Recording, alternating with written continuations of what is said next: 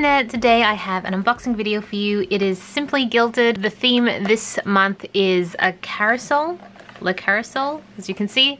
And yes, the box is a little worse for wear. It actually comes quite squished just because it does have to come all the way to Australia and I'm sure that um, the mailmen are not always the most gentle, but it doesn't matter because it doesn't damage the things inside. So let's just get right into the unboxing. All right, cool. So this is the card. Oh, it's the March. Wow, I am so behind because by the time you see this video, it will be May, but I'm filming this just two days before you see it, so it's actually just the end of April. So these are all the items you're gonna get. I'll put that aside and I'll just randomly pull them out. Washi tape, obviously my favorite part of this. I will open this towards the end so I can like zoom in and show you guys a bit better.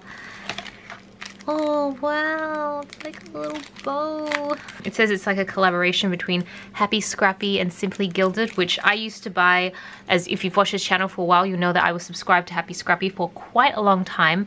And I really love her kits.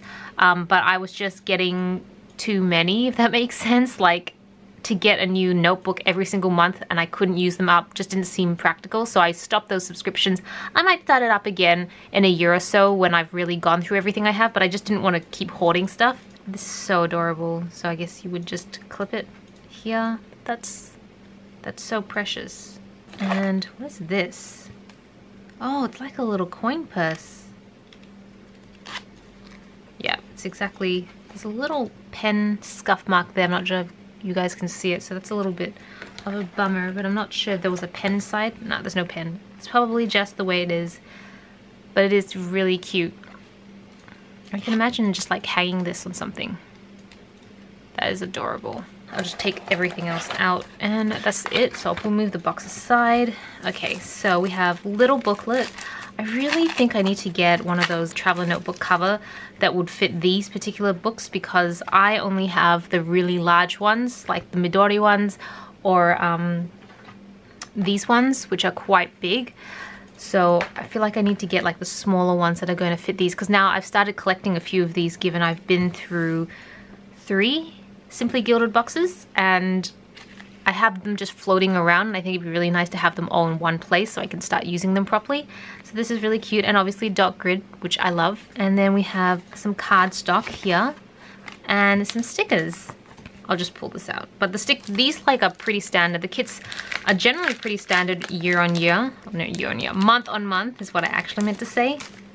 And these stickers are a little on the thicker side. But you've got your to-dos, you've got your labels, your clip art, and some full boxes and I do believe these actually also fit in the Erin Condren planner if you wanted. That's really cute. Okay, now let's move on to the washi because that's my favorite bit. so this is the full stack. I finally unboxed them. It looks so beautiful when they're next to each other.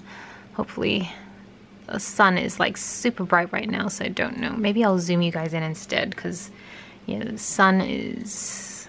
It's very cloudy today so the sun is coming in and out but how does that, if I was to try and shield the sun off a little bit, no, that doesn't, mm, okay. I think it's okay. So we've got this like, it's all gold foiled this time, this beautiful polka dot one, and then you've got the horse carousel here, and then this is like dream, laugh, discover in cursive. And then you've got her very like signature bows and then you've got some stripes so I love them when you stack them up like this they just look so perfect together but yeah that is everything in this month's box I love the theme very mint and pink inspired. If you guys know of any places that you recommend, because the only one I know of is Foxy Fix, which I'll have to check out. It's just more that it's always expensive and the shipping is insane because I'm in Australia. So I'm gonna just, if you know of any places that would um, sell really cute covers for these sort of books, let me know. Um, but yeah, hope you guys enjoyed this video. Thank you so much for watching. This is Celina reporting from my room. Back to you, internet.